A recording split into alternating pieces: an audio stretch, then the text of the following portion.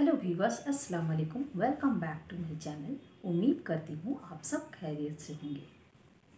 तो आज मैं फिर से शेयर करूँगी आप लोगों के साथ विंटर स्पेशल स्किन केयर एक DIY home remedies winter season में हमारी स्किन डल रफ और बेजान सी हो जाती है।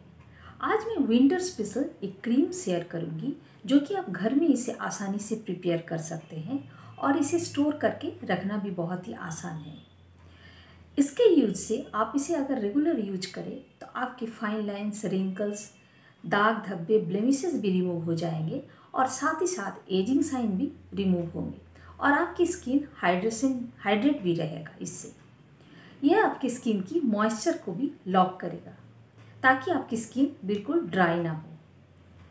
तो बहुत ही आसान तरीके से ये ये क्रीम हम लोग घर में आज प्रिपेयर कैसे करना है, मैं आज आप लोगों के साथ शेयर करूँगी।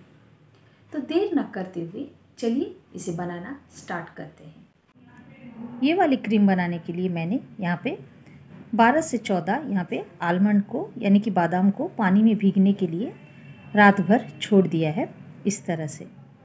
यहाँ पे मैंने बादाम का स्किन को उतार लिया है। इसका छिलका उतारने के बाद एक मिक्सर के जार में डाल के इसका पीसना है, इसको अच्छे तरह से। मिक्सर के जार में डालने के बाद अब हम लोग इसमें रोज़ वाटर मिक्स करके इसको हम लोग पेस्ट बना लेंगे। इसको मैंने मिक्सर के जार में डाल के देखिए पेस्ट बना लिया है। अगर ज़रूरत पड़े तो आप थोड़ा सा और रोज़ वाटर इसमें मिक्स कर सकते हैं। अब हम लोग एक स्ट्रेनर की हेल्प से इसे स्ट्रेन करेंगे।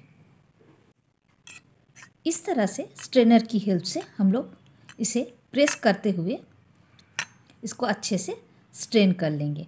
और बाकी का जो ये बादाम बचा हुआ है, इसे हम लोग एज ए स्क्रब भी यूज़ कर सकते हैं। इसे मैंने अच्छे से छान लिया है। अब इससे हम लोग क्रीम बनाना स्टार्ट करेंगे। ये जो क्रीम है, ये आप इसे विंटर में यूज़ करके देखें। आप इसे समर में भी यूज़ कर सकते हैं।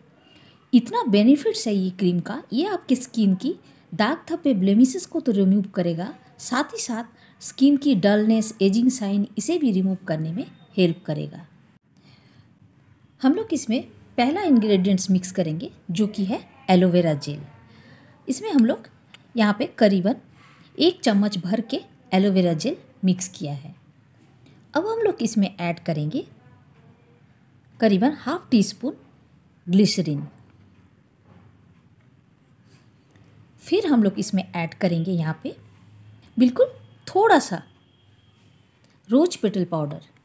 अगर आपके पास रोज पेटल पाउडर यानी कि गुलाब की पंखुड़िया का पाउडर ना हो तो फिर आप गुलाब को रोज वाटर में पीस के उसका जूस निकाल के इसमें ऐड कर सकते हैं।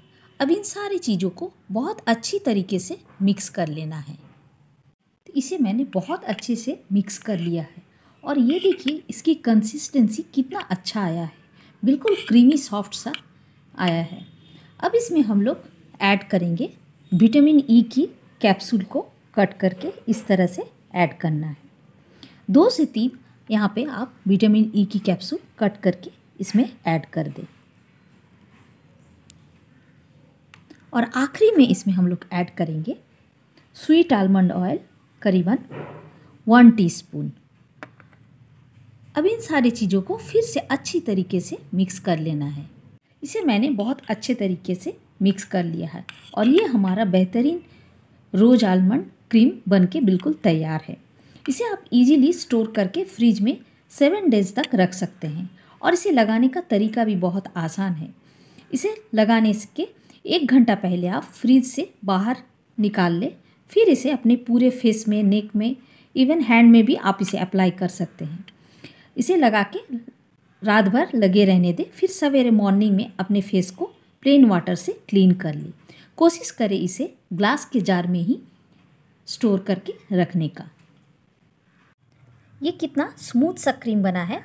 मैं आपको दिखा रही हूँ इधर अप्लाई करके अपने हाथों पे। कोशिश करें इसे डेली रात में आप अप्लाई करने का। अगर रात में नहीं पॉसिबल है तो आप इसे दिन में भी नहाने के बाद इसे अपने फेस में नेक में अप्लाई कर सकते हैं।